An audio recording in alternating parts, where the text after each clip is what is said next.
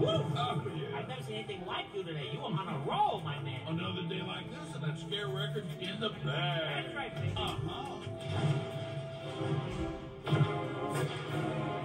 So get this, as if dinner wasn't enough. I'm taking her to a monster truck rally afterwards. Nice. What's on your agenda? I'm gonna head home and work out some more. Again? You know, there's more to life than scary. Ooh. Hey, can I borrow your odorant? Yeah, I got uh, garbage or old dumpster. You get the low tide? No. How about wet dog? Yep, stink it up. You know, I am so romantic, sometimes I think I should just marry myself. Give me a break, Mike. What a night of romance I got ahead of me.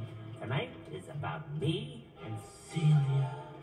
Ooh, the love boat is about to set sail. Because I gotta tell you, buddy, that face of hers, it just makes my heart go.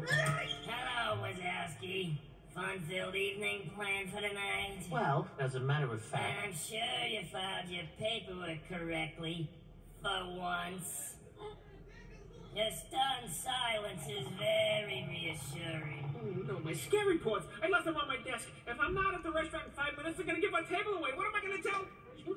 Hey, Googly Bear, want to get going? Uh, do I ever? It's just that, uh, you know, it's, it's a small. I don't understand. It's It- just it's just that I forgot about some paperwork I was supposed to file. Mike was reminding me. Thanks, buddy. Whew. I was. I mean, I was. Yeah, I was. Oh, okay, let's go then. We're going. On my desk, Sully. The pink copies go to accounting, the fuchsia ones go to purchasing, and the goldenrod ones go to Roz. Leave the puce.